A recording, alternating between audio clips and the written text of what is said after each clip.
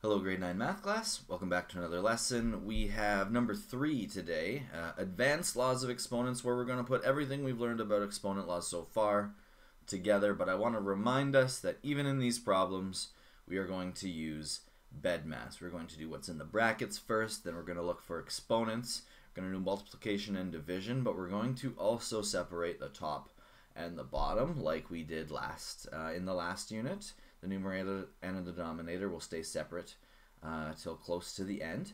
And then we do addition and subtraction last, which we don't have any of that in this case, but uh, that would be that would go at the end, just so you're aware. All right, let's move on. Here we go. First one we have 4 to the power of 4 squared times 4 to the power of 4 divided by 4 to the power of 4. Oh my goodness, so many 4s. There, now you can see that. So we're going to do the top and the bottom separately. There's no brackets in and of themselves to do, like anything within them. We're going to do the exponent first then. So that's 4 to the power of 8. 4 times 2 is 8. We add when we're multiplying. So that's 4 to the power of 12 over 4 to the power of 4. And then we subtract when we are dividing. So that's 4 to the power of 8 as our final answer. 12 minus 4 is 8. So we are just going to follow BEDMAS as we move through, and we are going to keep the top and the bottom separate until the end. Let's do the next one. There are no brackets. There's no exponents of exponents, so we can go right by there. Um, let's do the bottom. When we have 4 and 2 as exponents and the bases are the same when they're multiplied, we're going to add. It's 3 to the power of 3 over 3 to the power of 6. We're going to then subtract because they're divided. So we have 3 to the power of negative 3. And our final answer, we're going to flip that whole thing onto the denominator of a fraction. So that's 1 over 3 to the power of 3. So although there is a few more steps, we are just going to work through it logically, do what's in the brackets, do an exponent of those, and then do multiplication and division. Okay, this one we have a large set of brackets. This is interesting. So what we have in the brackets we are going to do first. Uh, so that means that we're not going to apply that 4 exponent um, into there yet. Um, we could, and I could show you that method sometime, but we don't need to right now. So the top and the bottom are going to be separate. So this is for 1 plus 2 is 3, power of 4.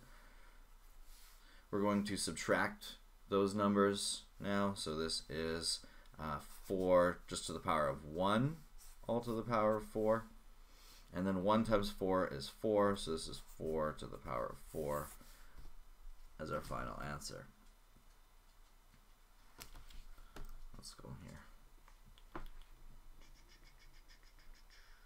Okay, I like that better.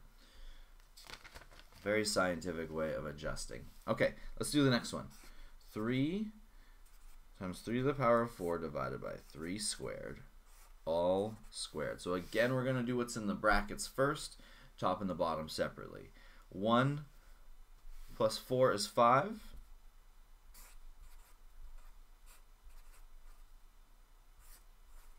Going to now subtract what we have. So this is 5 minus 2. So that is 3 to the power of 3. We still have the squared outside. And then we multiply when it's a power of a power. This is 3 to the power of 6.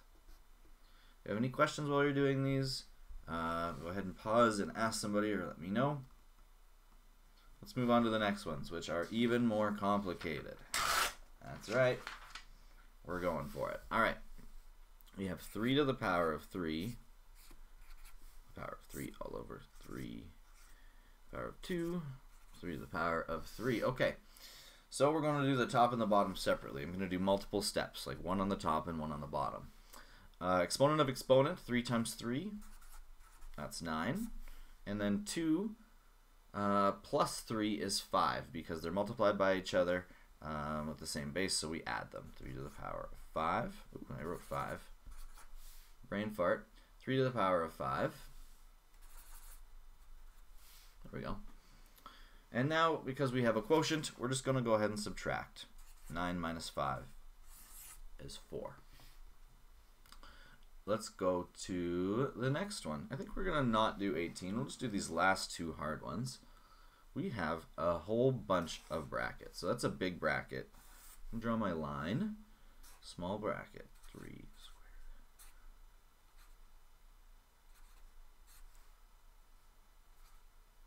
Oh my. Oh my, I haven't looked at this yet, really. Did I get this right? 3 squared, squared, squared. Big bracket, 4. That's all 3 to the power of 4 down here. Okay, so let's look inside our brackets first. So we have this set of brackets. We're going to do what's in there first, so we can ignore the 4 for now. And then we're going to do the top and the bottom separately, but there's nothing really to do on the bottom. It's just 3 to the power of 4. So we're focused on this bit here. We have another set of brackets, so we can ignore the 2 for now. That squared we can ignore because we have another set of brackets. So let's do what's in here. We have an exponent first, and then we're going to multiply. So I'm going to do this first. 2 to the power of 2, like 3 to the power of 2 times uh, exponent 2, that would be 3 to the power of 4.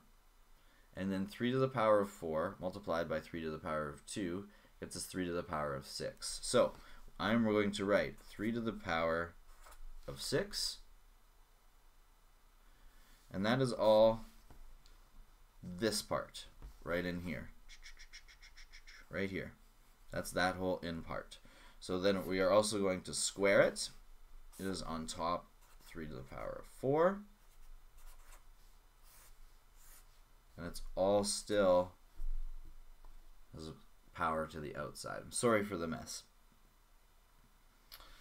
We're then going to do still what's in the brackets. We have an exponent of an exponent, so let's do that. We have 3 to the power of 12 over 3 to the power of 4, and this is all, again, to the power of 4. We subtract because they're divided by each other, so that's 3 to the power of 8,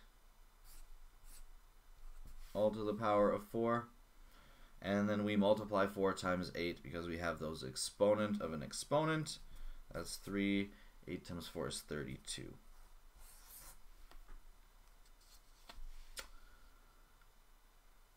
Quite a bit. We're going to do another one that's a, that's pretty similar.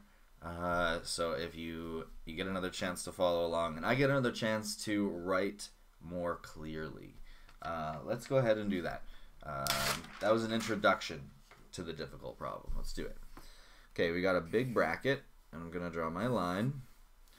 3 to the power of 3 on the bottom. So there's going to be not much to do on the bottom for a bit. We then have two brackets. 3 to the power of 4. We close that bracket. And that's squared multiplied by 3 to the power of 3. Close that bracket to the power of 4. And close a big bracket. It's just a mouthful to say as I'm writing it out. But let's look at this uh, strategically. There's another 4 on the outside, of course. All right. We have brackets, so we're going to ignore the exponent for now. And then we have more brackets. And like I said, the denominator is just going to stay there. So we're going to look inside these brackets first. I'm going to do everything inside those brackets in one step. So uh, 3 to the power of 4 squared. We multiply those exponents. That's 3 to the power of 8. And then we um, add 3. So that's 3 to the power of 11. So 3 to the power of 11. Again, we have that to the power of 4 over 3 to the power of 3, all. So still to the power of 4. This is 3 to the power of 44 then. 11 times 4 is 44. So 3 to the power of 44 divided by 3 to the power of 3. Man, we're going to have to do some multiplication here, I'm, I'm guessing. We subtract, so that is 3 to the power of 41, all to the power of 4. So then 4 times 41, no, I can do this. That's 164.